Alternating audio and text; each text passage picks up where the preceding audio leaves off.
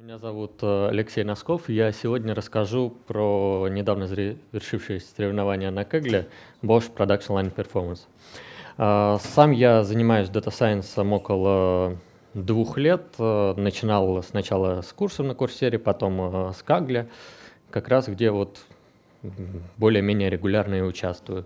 При этом работаю в компании Well Martians, где занимаюсь пополам разработкой и Data Science.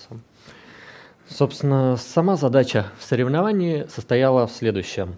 У Bosch есть, соответственно, какой-то завод, на котором производятся какие-то детали. Они, соответственно, движутся по различным производственным линиям, проходят через э, различные станции, на которых с ними там что-то происходит, производятся какие-то операции и снимаются какие-то измерения. Соответственно, после того, как э, деталь прошла всю эту линию, нам известно, получилась ли она хорошая или там имеется какой-то брак. И, соответственно, задача состояла в том, чтобы предсказать, собственно, по значениям тех показаний, которые были сняты в процессе производства, где, собственно, будет брак. При этом э, интересным моментом было то, что выборка была разделена не по времени, как э, часто делается для предсказания чего-то в будущем, а случайно, то есть для Боша, в принципе, было абсолютно нормально, что мы будем предсказывать брак э, там, по более поздним, например, деталям. А, собственно, в задаче было порядка двух э, с лишним миллионов строк, половина из которых был тренировочный набор, половина тест, из которого 30% открытая часть. И на этих э, двух миллионах строк были 4 с лишним тысячи признаков, различ... которые как раз соответствовали этим произошедшим измерениям. Они были числовые, континуус, сразу стандартизованные, временные, а какие-то даты от некоторой неизвестной точки в некоторых неизвестных единицах, и категориальные, которые, судя по всему, представляли на самом деле какие-то коды от скада, но точное значение мы их, разумеется, не знали. Все признаки, разумеется, в общем-то, а, были зашифрованы, никакого смысла их а, мы не знали, и поэтому приходилось как-то с этим разбираться. Кроме того, такой вот совокупный объем данных, 2 миллиона примеров на 4000 признаков, э, не позволял все это так просто уместить сразу там в памяти, запустить э, XBoost на всем, ну, на обычной десктопной машине. То есть можно было это сделать, имея там какой-нибудь сервер с сотней гигабайт памяти, но это, соответственно, вызывало поначалу вопросы у многих участников. А второй особенностью задачи было то, что положительных примеров брака было очень мало, буквально половина процента – и в качестве метрики использовался такая штука, как Matches Correlation Coefficient, который я до этого не встречал, вообще говоря. Это а, метрика, которая считается по вот такой страшной формуле по Confusion Matrix. То есть важно то, что она, в отличие от Rockout, например, оперирует не выдаваемыми вероятностями, а непосредственно прогнозами 0 или единичка. Совместно с количеством положительных примеров это приводило к тому, что, вообще говоря, там у нас получалось буквально несколько тысяч э, положительных примеров, несколько тысяч предсказаний положительных, и учитывая то, что некоторые строки предсказывались достаточно хорошо, буквально э, около пары сотен примеров, которые, судя по всему, что-то решали на лидерборде. И, собственно, в процессе участников, э, по нашим приблизительным подсчетам, разделяли иногда там буквально несколько различных предсказаний. То есть там кто-то предсказал буквально там на 2-3 примера больше. Собственно, я участвовал э, в составе команды с э, более опытными каглерами. Э, лидером команды был Гильберто, который сейчас второй в рейтинге. Они, собственно, образовали изначально команду с Михаилом Джаггером и Датагиком. И где-то в конце октября я к ним присоединился, когда дошел где-то до пятого места в лидерборде.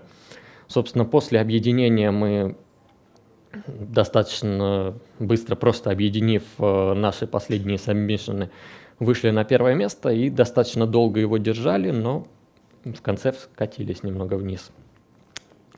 Собственно, в процессе работы команды, как э, происходила организация, мы координировались э, в чате в Slack, использовали, разумеется, общий файл с cross-validation разбиением, обменивались э, в первую очередь файлами с прогнозами наших моделей, которые там каждый кто-то готовил, и файлами с фичами, если там находилось что-то интересное.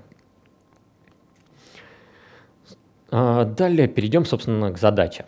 Первое, что, в общем-то, в ней, разумеется, надо было делать, это произвести минимальную подготовку. Из этих всех э, столбцов, которые там присутствовали, достаточно много, особенно среди категориальных признаков, вообще говоря, имели буквально единственное значение, то есть, например, были пропущены всюду.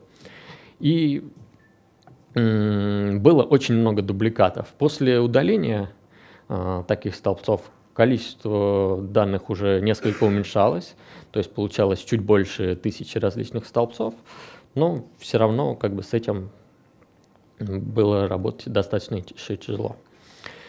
А, дальше на этих столбцах, разумеется, можно было выделить некоторые базовые признаки, которые в дальнейшем скармливались моделям. Разумеется, по различным станциям а, можно было брать среднее, минимум, максимум, рейндж там. Кроме того, можно аналогично было группировать не по одной станции, а по группам станций, которые, судя по всему, проходились деталями вместе, что можно было определить как раз а, по Э, паттерну пропусков. Количество проходимых станций, э, информация о начальной и э, конечной станции, информация о количестве пропущенных и непропущенных значений. И, что интересно, достаточно неплохим признаком у меня оказывалось, например, количество точных нулей в числовых столбцах. То есть именно не пропущенных значений, а случаев, когда признак имел значение, и это значение было в точности равно нулю. А, кроме того, сюда же можно добавить, в принципе, категориальные признаки, которые, разумеется, можно было кодировать с помощью дами переменных, но на самом деле а, мы из них не смогли извлечь особенно много пользы. Другие команды, как в конце расскажу, нашли кое-что. Соответственно, более интересными были даты. Достаточно быстро в начале соревнования а, Белуга выложил скрипт, в котором а, на основании анализа автокорреляции количество записей по датам на каждой станции предположил, что а, каждый тик в данных, это, соответственно, одна сотая, представлял из себя 6 минут. Соответственно, после того, как э, перевести даты в такое представление, можно было увидеть, что количество деталей имеет э, некоторые суточные и недельные циклы, были прекрасно видны выходные, когда производство там практически останавливалось. И, соответственно, на этих датах можно было выделить э, такие признаки, как время прохождения линии, количество, соответственно, выходных, которые проходят во время прохождения линии. То есть если там деталь задержалась где-то на линии э, на выходные, это в принципе что-то значило. Среднее время, в которое э, находили, находилась деталь на линии и так далее. Но это в принципе помогало, но так чуть-чуть. Более интересными оказались следующие предположения. Во-первых, собственно, брак, он возникает в результате каких-то сбоев на станции. Первое предположение было, что, возможно, сбои, они происходят из-за возрастающей какой-то нагрузки на станции. И это привело к тому, что мы пытались кодировать даты количеством примеров, которые э, имелись на данную конкретную дату, на каждую станцию. Это дало, в общем-то, весьма неплохие результаты. Но еще а, лучше оказалось а, следующее. Поскольку сбой на станции, опять же, может затрагивать некоторое количество примеров, можно вычислять а, количество сбоев, которые видны в данных в этот же момент времени на этой же станции. Ну, разумеется, это надо считать э, внутри уже цеви разбиения, так, чтобы не переобучаться. И, соответственно, чтобы, опять же, а, не переобучиться очень сильно на этом признаке, их можно суммировать а, станции по соответствующим линиям, получить таким образом ну, буквально несколько признаков, но которые оказались очень значимыми. Но самое интересное было дальше. Оказалось, что некоторые строки в исходных данных оказались практически идентичны. И при этом они имели последовательные идентификаторы. При этом, как оказалось, в таких дублирующихся строках сбои бывали значительно чаще. То есть это выглядело как э, какая-то утечка данных и, собственно, вызвало достаточно бурное обсуждение на форуме. Но в итоге природа на данный момент так и неизвестна. А, кто-то предполагает, что это действительно какая-то утечка, произошедшая при подготовке, но, скорее всего, это все-таки была некоторая реальная особенность данных, судя по уклончивым ответам а, администрации Кагла на других а, темах. И, в общем-то, наверное, наилучшее объяснение, которое это можно дать, было предложено пользователем Винсенсом Гайтаном, которое состоит в том, что после сбоя в обменных данных А, собственно, может повторять последние известные значения. Таким образом, если у нас произошел какой-то там сбой питания, например, из-за чего оборвалась э, передача данных, с одной стороны мы можем получить какое-то количество брака возросшее, с другой же стороны мы получаем как раз какие-то подобные дубликаты. Но на самом деле все не ограничивалось дубликатами. Если присмотреться дальше, можно, во-первых, увидеть, что это часто были группы из э, более чем э, двух или трех примеров. Например, вот здесь группа из э, семи примеров, которые практически одинаковые на большинстве столбцов, но отличаются последними столбцами, при этом также, в общем-то, могут быть подразбиты на какие-то группы. Таким образом, видно, что из группы одинаковых деталей до какой-то станции обрабатывались одинаково, а дальше происходили какие-то различия. И, судя по всему, эти э, паттерны вот по таким как бы э, почти дубликатам и более мелким группам, они позволяли, соответственно, еще улучшить результат по сравнению, собственно, с исходной утечкой. Как, собственно, она могла использоваться? Первый классический такой вариант э, использования, наиболее известный, который был раскрыт э, в скрипте пользователем Faron, это стоял в том, что мы можем отсортировать все строки по минимальной дате. Соответственно, таким образом э, у нас э, группы с минимальной датой, они будут представлять себя последовательности одинаковых айдишников, и мы можем взять разность с предыдущим и следующим айдишником в этих последовательностях, и она, в принципе, будет определять как раз находится ли э, строка на границе группа, где-то в середине или вообще единичная. Кроме этого, соответственно, этот скрипт можно было дополнить тем, чтобы, во-первых, кроме того, чтобы просто считать разность пайдичников, ориентироваться на факт сбоя в соседних примерах, поскольку, в общем-то, также достаточно быстро после обнаружения этого лика можно было найти, что не просто в, э, сбои в группах более вероятны, но если хотя бы одна строка из группы была, соответственно, сбойной, то, скорее всего, в остальных строках э, вероятность сбоя также значительно увеличивалась. Э, еще момент, чтобы э, изначальный вот такой скрипт Фарона и факт сбоя в соседних, они не учитывают вот этой более тонкой структуры с расхождением на последних станциях. Можно было дополнительно ее учесть, используя признак наподобие отличия максимальной даты в соседних строках.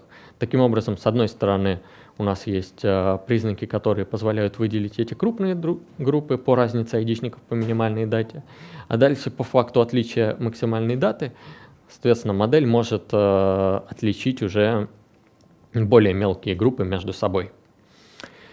А, другой вариант использования этого лика который, соответственно, я использовал в своих моделях до появления скрипта и потом использовался параллельно также.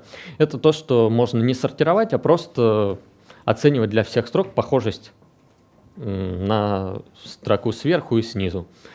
В данном случае было достаточно просто считать количество столбцов, э, которые отличались в предыдущей и в последующих строках. Такой вариант сразу позволял, в общем-то, учесть э, такие более тонкие отличия, поскольку получается, что в случае полных дубликатов мы там получаем 0 отличий, в случае, если у нас там что-то поменялось буквально чуть-чуть, мы получаем отличия там в нескольких столбцах. И третий вариант, э, можно непосредственно попытаться выделять группы дубликатов, оценивать с одной стороны размер группы, а с другой стороны оценивать позицию строки в группе.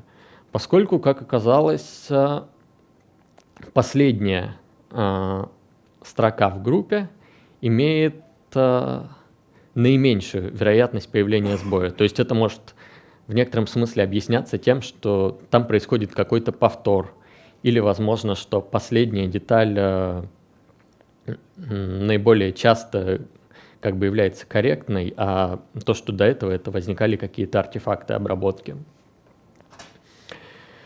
Э, собственно, использование подобных как раз признаков, оно позволяло выйти от э, в паблик лидерборде от МЦЦ порядка 0,3, которая получалась при использовании э, признаков без использования вот этого свойства к МЦЦ 0.4 и более. Ну, естественно, путем комбинации некоторых признаков, моделей, в общем-то, топ э, сгруппировался в районе МЦЦ 0.5, и дальше уже, в общем-то, борьба шла на сотой где-то, э, что как раз представляло из себя, учитывая небольшое количество примеров, буквально там десятки или даже единицы удачно предсказанных строк. Собственно, мы использовали на этих признаках э, что? В первую очередь, разумеется, как бы XGBoost, куда же без него. Э, мы для этого использовали, как правило, модели глубины приблизительно 9, иногда чуть больше, чуть меньше, и тренировали их э, с двумя тысячами итераций на различных холдах. Но также, соответственно, включали, естественно, нейронные сети, как построенные с MXNet, так и с Keras, поскольку часть участников использовала R, часть э, Python, как правило, естественно, в 2-3 скрытых слоя. Ну и также более слабые модели тоже, в общем-то, давали в дальнейшем профит в ансамбле, э, как, соответственно, случайный Lex, э, Streaming Randomized Trees, они, в общем-то, тоже были полезны. А, при этом в XGBoost из-за размера данных я, например, не обучал его на всех э, полутора тысячах признаках плюс дополнительных, использовал, соответственно, следующую штуку. Внутри каждого фолда сначала прогонял несколько десятков итераций на каком-то небольшом сэмпле данных. После этого, соответственно, выбирались наиболее значимые с его точки зрения признаков, с ними уже загружались э, все данные для этого фолда, и, естественно, тогда уже гнались 2000 итераций. Это позволяло значительно ускорить э, поиск, э, но, тем не менее, все равно это тренировалось э, у меня порядка нескольких часов, соответственно, на всю модель. Для кросс-валидации мы использовали обычный Stratified Cafold с пятью фолдами. И здесь же важный момент, поскольку нам необходимо предсказывать непосредственно нули и единицы, нам необходимо выбрать порог, соответственно. И мы его выбирали, соответственно, по МЦЦ, просто на out of fold прогнозах, э, выбирая, где, соответственно, он получался лучше. Это, похоже, Оба этих решения были, видимо, не очень удачными, поскольку где-то начиная как раз, э, когда результат стал приближаться к 0,5, кросс-валидация начинала работать у нас очень плохо. Она практически перестала коррелировать э, с лидербордом, и, в общем, это создало значительные проблемы. В частности, соответственно, выбор порога, поскольку FCC был очень чувствителен к небольшим, соответственно, изменениям на вот эти вот буквально пару записей, приводил к тому, что оценки получались очень шумными. Соответственно, кроме этого, на тех предыдущих э, моделях мы обучали, соответственно, второй уровень, разумеется. Там у нас использовался XGBoost в первую очередь и, соответственно, те же самые нейронные сети. Мы обучали его в том же самом uh, Stratified uh, Scaffold, на тех же самых фолдах, просто на outfold прогнозах первого уровня. Ну, естественно, кросс-валидировали на том же разбиении. И в итоге на, для Submission усредняли несколько моделей второго уровня, но усредняли, опять же, непосредственно прогнозы моделей вероятности, не, не результаты после выбора прогноза, что также, возможно, было не очень хорошим решением из-за неустойчивости как раз выбора порога для оптимизации МЦЦ. А, в результате мы свалились э, где-то в последнюю неделю.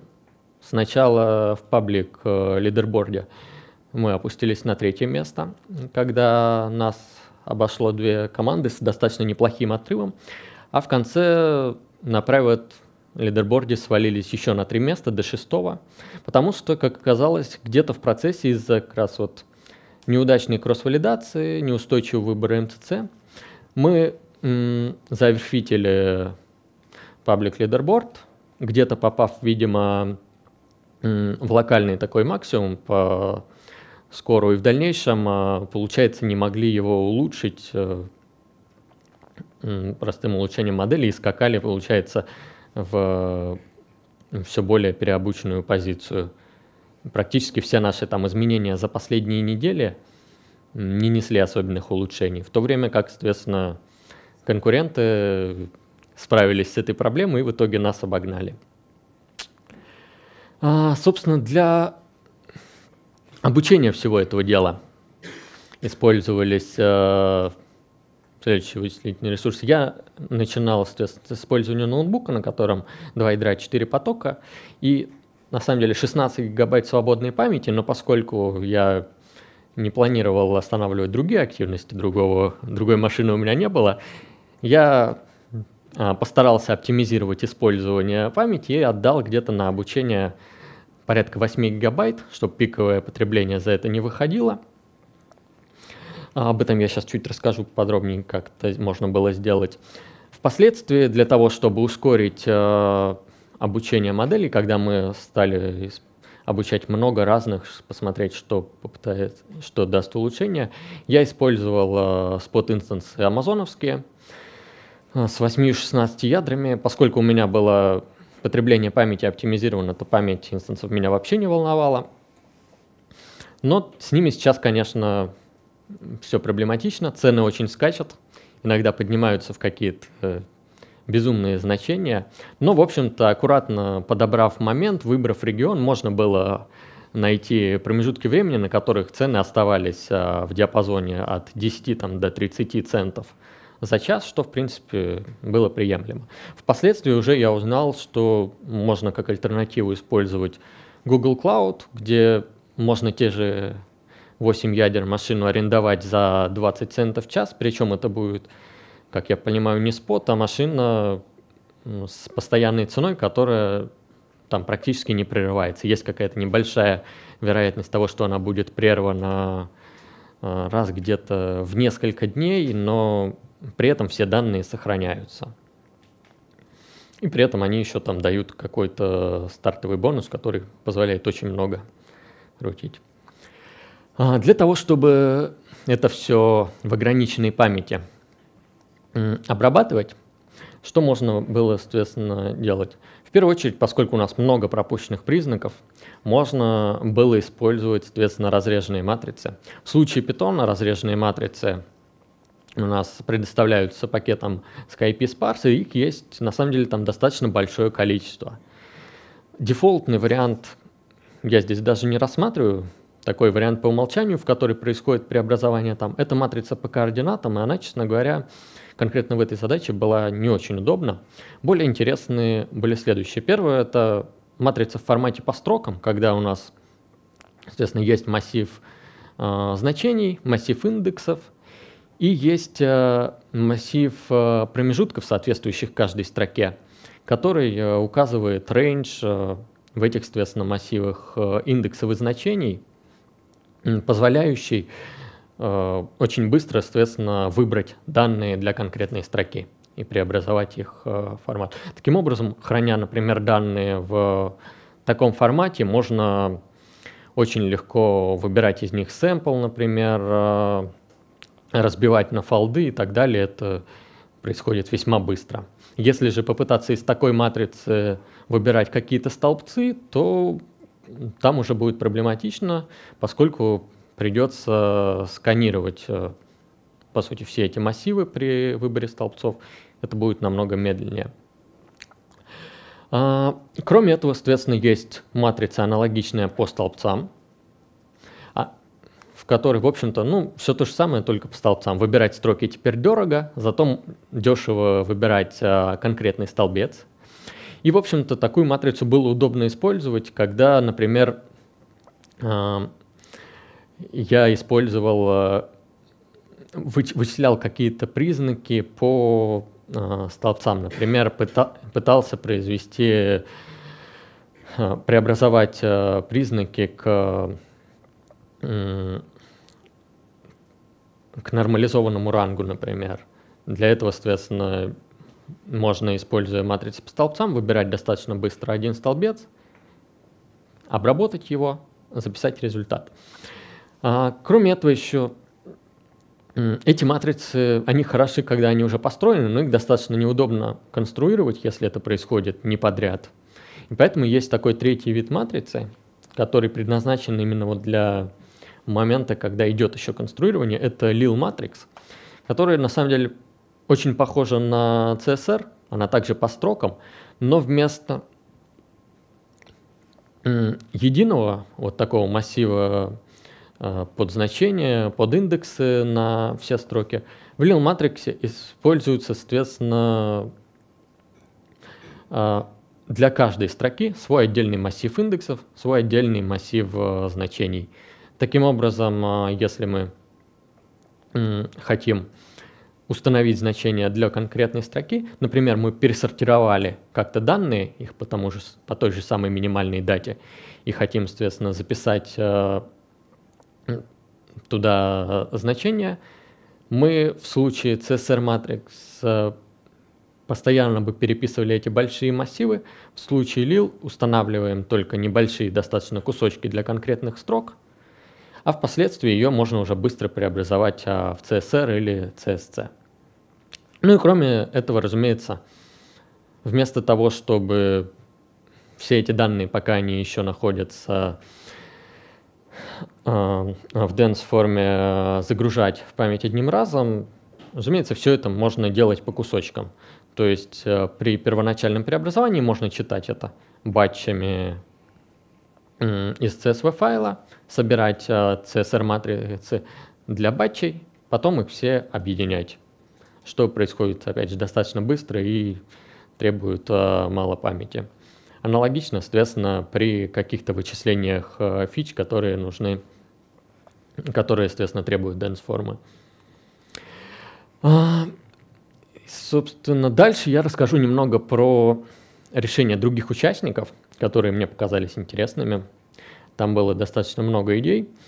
А, сначала решение а, команды Аши Белуги, которые заняли в итоге первое место, они что нашли, того, что не нашли мы? Во-первых, они нашли, что есть две группы станций, а, конкретно станции с нулевой по 11, с 12 по 23, которые оказались очень имеют похожую структуру и если построить матрицу вероятности перехода между ними, то они были очень сильно похожи. Соответственно, поэтому они предположили, что можно попытаться комбинировать признаки из этих различных станций, и, соответственно, просто стали использовать суммы, произведения э, соответствующих признаков от э, этих станций, что, соответственно, дало некоторый рост. Второе, помимо кодирования дат, количеством примеров, как мы делали, они использовали это же кодирование для числовых фич. То есть, э, как оказалось, некоторые конкретные точные значения этих числовых фич были очень важны. Естественно, если кодировать э, именно их, то получался некоторый хороший результат. Плюс, соответственно, интересный момент Поскольку у нас было время, мы уже определили, э, что там есть э, недели, можно проводить нормирование числовых э, фич по времени. Потому что, в принципе, было видно, что активность по станциям, она является непостоянной на протяжении всего времени. Были там станции, которые были активны там несколько недель достаточно сильно, потом их активность снижалась и так далее. И поэтому действительно имело смысл произвести нормирование по каждой неделе, таким образом учесть вот эти вот отклонения, связанные со временем. И, соответственно, еще интересные э, фичи, которые они использовали, они рассчитывали среднее расстояние во времени до ближайших энсбоев. То есть они э, брали, э, сортировали э, строки по времени на какой-то станции, на которой было достаточно мало промежуточных значений, и рассматривали от каждой строки там ближайшие сколько-то сбоев, они, по-моему, не написали, к сожалению, число, и рассматривали, на каком расстоянии в будущем или в прошлом они, соответственно, отстоят. И, соответственно, вычисляли вот это среднее расстояние. Разумеется, это также, поскольку фича использует э, таргет, надо делать э, с учетом э, цви разбиения. И, соответственно, в общем-то, такая штука позволяет определить сгруппированные по времени моменты, когда больше происходит сбоев. Ну и, соответственно, аналогично тому, что мы использовали количество деталей в конкретный момент времени, они это также расширили на значительно большие диапазоны. Один момент времени, как у нас, я напомню, это 6 минут, они расширили это там на а, полчаса, несколько часов и несколько дней. Таким образом, считали, насколько была станция нагружена в таких больших диапазонах. А, но более интересное, что они делали, стояло в том, собственно, как они обучали модели. Ну, во-первых, они а, даунсэмплили строки, без, в которых не было дубликатов, Таким образом, а, несколько устраняли смещения для своих моделей и позволяли моделям быстрее обучаться. Кроме того, за счет того, что они обучали несколько экземпляров моделей в каждом фолде, а, такой даунсэмплинг, он а, работал, в общем-то, как вариант багинга. И они использовали очень интересное разбиение для кросс-валидации. Вместо stratified по таргету, как это обычно делали, они, соответственно, использовали, так они назвали, leak stratified scaffold, то есть а, разбивали на фолды с а, приблизительно одинаковым распределением дубликатов. А, что, в общем-то, действительно, наверное, очень хорошая идея, поскольку у нас а, из-за того, что а, количество дубликатов в различных фолдах, судя по всему, действительно отличалось, получалось, что скорость, соответственно, предсказания модели на разных э, фолдах э, в среднем различны, потому что как раз в дубликатах и содержится на самом деле большинство информации. И получается, что когда мы это выводим на уровень стекинга, это дает некоторый шум, вообще говоря. Они за счет uh, Leak Stratified Scaffold смогли это действительно устранить и судя по таблице, которые они выкладывали, у них э, их кросс-валидация прекрасно просто отражала как э, public leaderboard, так и в дальнейшем private. А, команда Data Property Avengers, которая заняла третье место, они, соответственно, что делали? Они расширили лик на конкретные станции. Вместо того, чтобы сортировать по минимальной дате, как это делалось, они брали станции, на которых э, не очень много пропущенных значений, и, соответственно, сортировали по времени на этой станции. Таким образом, э, с одной стороны, формировались группы внутри этих станций. Я, честно говоря, не думаю, что это сильно помогало для ранних станций. Они написали, что это помогло очень для станций 29 и 30. Это, в общем-то, как раз те станции, с которых начинались вот эти различия в дубликатах. И, судя по всему, за счет использования вот этого лика э, применительно к этим станциям, они смогли очень хорошо захватить э, вот эту вот более тонкую структуру. Аналогично Ашевелуга они использовали как раз э, информацию о том, как много было э, сбоев в некотором диапазоне времени. Только вместо того, чтобы использовать среднее расстояние, они сделали э, rolling от таргета, ну, опять же, с учетом э, разбиения по фолдам, при, соответственно, сортировке строк по минимальной или максимальной дате. Таким образом, а, опять же, эта фича помогает захватывать какие-то периоды, в которые а, происходит большее количество сбоев или меньшее. Причем они пишут, что им особенно помогли большие окна, то есть там на несколько тысяч а, строк. Судя по всему, это было связано с тем, что они позволяли захватывать большие периоды, когда все было хорошо. Кроме того, они нашли то, что некоторые категориальные признаки с большим числом значений оказались действительно очень полезны.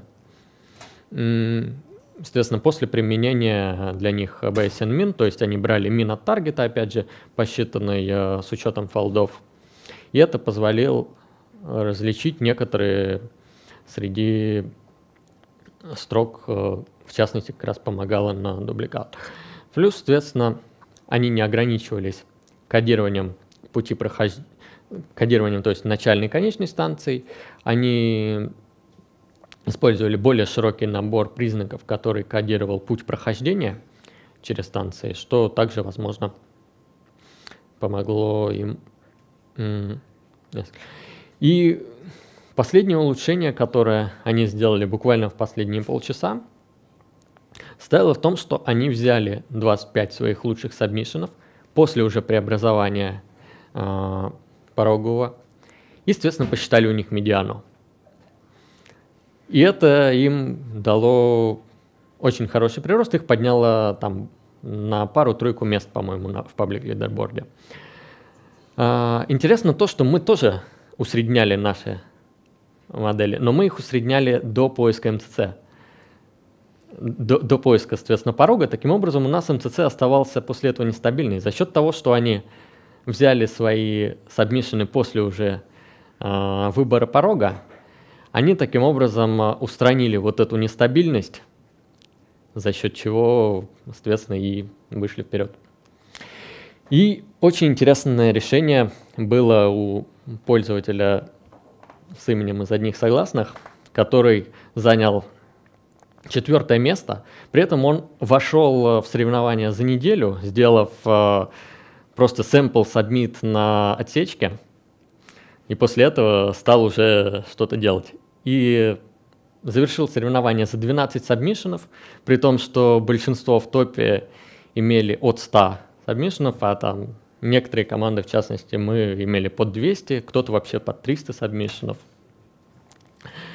А, что он сделал? Он стал а, как раз а, с самого начала ориентироваться на то, чтобы сделать как можно более стабильную модель. Для этого для модели первого уровня он использовал различные подмножества станций. Он брал эти подмножества насколько я понимаю, от первой станции до некоторой э, станции как бы в конце. И останавливал его там где-то типа на 27 станции, на 28 на концах линии и так далее.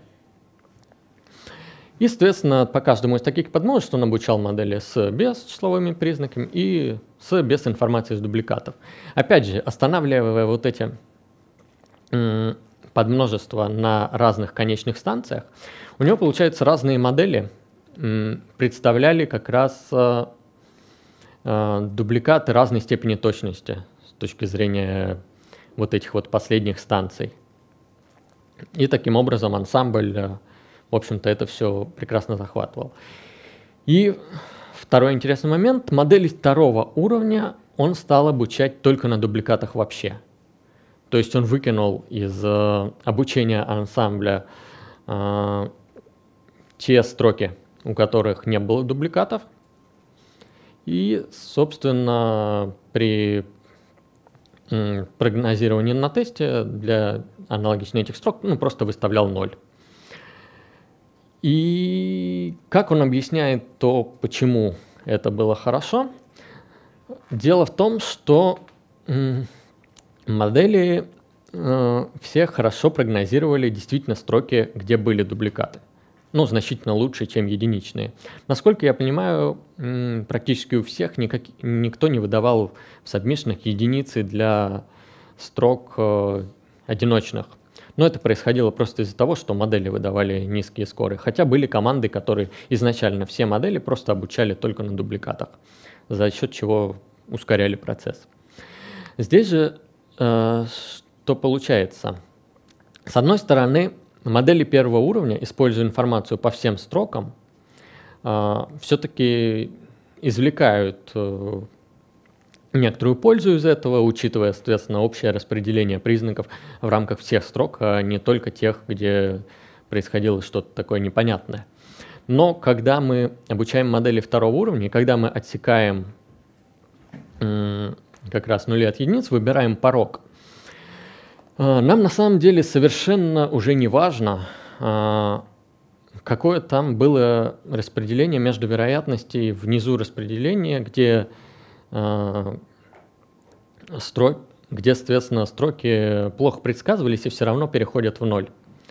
Таким образом, обучая модели второго уровня только на тех э, строках, у которых заведомо скоры э, несколько выше, и они вероятнее попадут в, соответственно, submission, он таким образом э, э, делал то, что модель как бы более учитывала как раз взаимное распределение результатов именно в том районе, где как раз будет происходить отсечение. Что, судя по всему, как раз и давало некоторое улучшение результатов. Кроме того, он использовал очень интересный подход кросс-валидации. На первом уровне он а, разбивал все на фолды прямо группами. То есть, а, например, Раша Белуга, они разделяли группы, но учитывали распределение результатов. Он брал группы, соответственно, фолды целиком. То есть или все дубликаты входят в какой-то фолд, или все, соответственно, нет.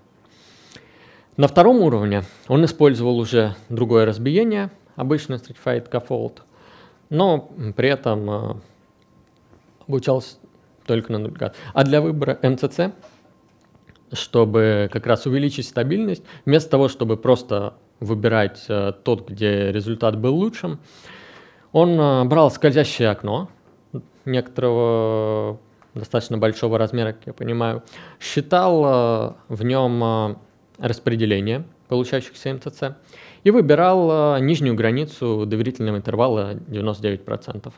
Таким образом, он получал, по всей видимости, весьма стабильный способ выбора МЦЦ, и, в общем-то, у него тоже с валидацией все срослось. Собственно, на этом у меня все. Если какие-то вопросы.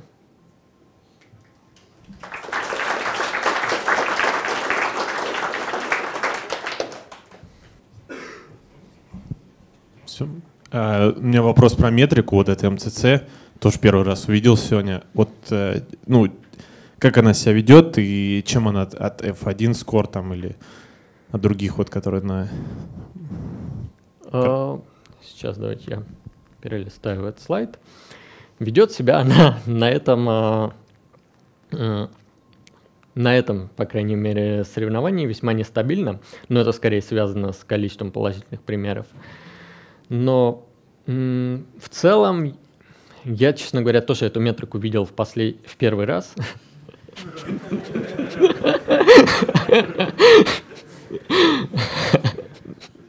Да. Соответственно, по тому, что я прочитал, она очень хороша тем, что как раз позволяет э, наиболее полно захватить э, информацию из Confusion Matrix. Но, честно говоря, я не анализировал глубоко по тому, что она из себя представляет. То есть, в отличие от F1 меры, это не просто какое-то усреднение точности и полноты на каком-то отсечении. Эта метрика, насколько я помню, может быть а, проинтерпретирована как а, геометрическое среднее между коэффициентами в регрессии, а, между предсказаниями, соответственно, и реальными значениями, и, соответственно, двойственной регрессии. Ну, особенно много сказать про нее не могу, наверное. Хотел спросить, а вот из бизнес-полезных фич, которые лик не, не использовали, которые информацию из будущего не использовали, что интересного там было видно? По поводу информации из будущего, чтобы не использовали, таких фич, наверное, никто практически даже не искал, потому что у нас информация из будущего всюду была. То есть, э, насколько я понимаю, задача все-таки состояла не в том, чтобы предсказать э, сбои будущих деталей, а для того, чтобы оптимизировать э, процесс оценки качества, когда у нас э, выбирается какое-то подмножество деталей для того, чтобы определить, какие из них э, бракованные, какие нет, и оценить, соответственно, общее количество брака. Для этого как раз неплохо бы уметь определять это потенциальное множество, даже зная брак из э, того, из того же там, набора деталей в каком-то промежутке, как в прошлом, так и в будущем. А, ну и, собственно, из интересного, что было полезно, пожалуй, каких-то таких э, вот супер единичных фич я не видел ни в своем решении, ни в описаниях участников. То есть э, были некоторые хорошие взаимодействия между прохождением деталей через конкретные станции. То есть там даже в скриптах, в общем-то, э, был пример, когда детали, проходившие через какую-то пару станций в определенном порядке, они имели значительно больший процент сбоев, то есть это могло, в частности, объясняться тем, что некоторые станции в процессе были какими-то станциями тестирования или чего-то такого, куда изначально направлялись э, потенциально подозрительные детали. Но, опять же, чего-то чего-то другого подобного я не помню. А, нет, есть одна фича, которую я здесь не сказал, которая имеет бизнес-смысл, э, встретил в описаниях решений одного участника. Участник рассчитывал также нагрузку на станции, но не просто, соответственно, по количеству деталей в конкретный момент, а по датам как бы рассматривал а, даты как момент, соответственно, входа на станцию, переход на следующий, и таким образом отслеживал количество деталей, которые потенциально сейчас находятся на станции между какими-то моментами времени. И вот эта фича давала, насколько я помню, некоторый хороший результат. Ну, по сути, это нагрузка на станции в том или ином виде. Кто-нибудь, кто использовал подход, связанный с вооружением аномалий? То есть не строить какие-то деревья или нейросети, а просто построить, скажем, многомерное вероятность распределения – и где-то в его хвостах обнаруживать потенциальный брак? А, насколько я знаю, нет, никто не использовал. По крайней мере, я не видел других участников, мы тоже не пробовали. Добрый день, спасибо за доклад. А, вопрос такой. Вы исследовали фичи, возможные, связанные с эм, человеческим фактором? Ну, условно говоря, а, что-нибудь такое типа день недели, связанный с временным интервалом. Ну, физический смысл, смысл такой, что, скажем, в четверг там во второй половине дня заступает какой-то там Вася, ну, условно говоря, да, после чего там количество деталей, ну, плохих, бракованных увеличивается. Ну, примерно так. А, мы рассматривали фичи, связанные со временем, в частности... Я имею в виду именно время и день недели, потому что, ну, людей наверняка на этом заводе или что там, да, их много. Соответственно, тут как бы не ну, просто нужно время выбрать.